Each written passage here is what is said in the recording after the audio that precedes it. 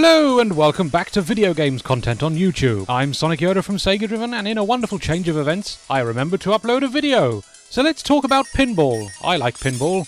You get to smack a ball bearing around a slanted table covered in blistering artwork and flashing LEDs. When the ball hits stuff, a number goes up. It's great!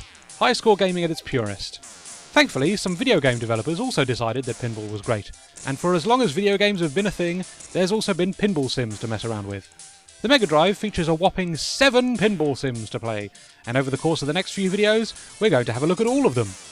To kick things off, we're taking a look at a good one to start. Some might even say the best one. This title is Devil Crash MD, or Dragon's Fury, depending on where in the world you bought the game. Devil Crash is quite novel in that it features one long table split into three play areas. The game itself can actually be completed, and this is done by opening entrances to bonus stages.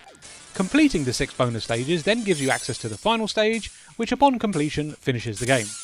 This is obviously quite different to most pinball tables, which essentially let you play as long as you want depending on how good you are, but it's actually quite a nice little inclusion that gives you something to aim for. I've never completed the game myself because doing so is balls hard, pun intended, but thankfully Devil Crash is just a fun pinball game without having to worry about its endgame. The ball physics feel fluid and responsive. The ball never moves in an unpredictable way and interacts with the table gimmicks exactly as you'd expect them to. The game also looks fantastic and its wonderful fantasy artwork sprinkles the table with monsters, demons and dragons. Also, it's well worth playing the Japanese port because there's wicked cool pentagrams everywhere, which are annoyingly altered into five pointed stars in the European and American versions of the game. Stop being a spoil sport, Satan is cool!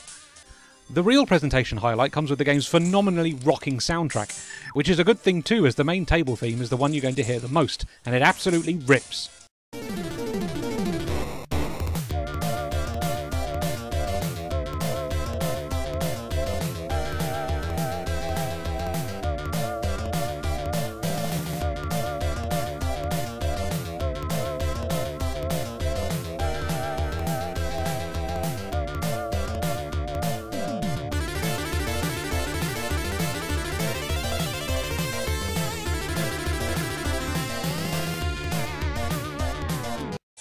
So yeah, Devil Crash MD is an absolute belter of a pinball game for the Mega Drive, and one you should absolutely track down.